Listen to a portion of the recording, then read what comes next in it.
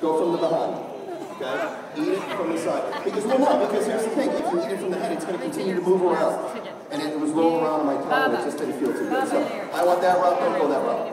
Okay, you ready? Okay. On your mark.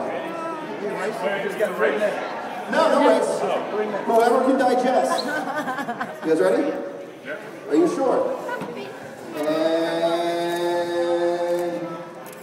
go.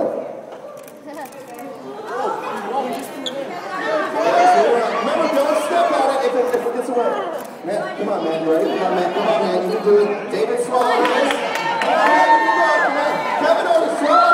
at Kevin! Oh my Screwy, it's screwy. All right, give us a big chance. How was it? You doing over there? You're the one that's sitting 22. Oh my God, it's hanging your bottom lip. Swallow it. You're scaring the children. The juice is gone. You swallowed it. Anyone done? Look at this. These guys are bright souls. You got something in the middle of your teeth. You want to take care of that with some floss. David Blair, how are you? How are you? You're the most nervous of all. Everybody did it. Great job. Five. It's all right. How are we doing?